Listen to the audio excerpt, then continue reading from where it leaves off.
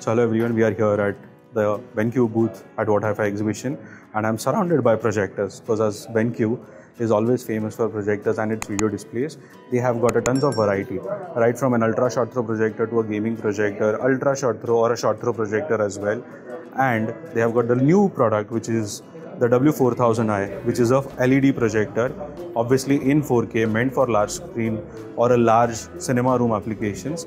And it comes with LED, so has got 20,000 hours of lamp life or a laser uh, LED source life. And apart from that, they have got a cool range of portable projectors. So let me know your views on BenQ in the comments below.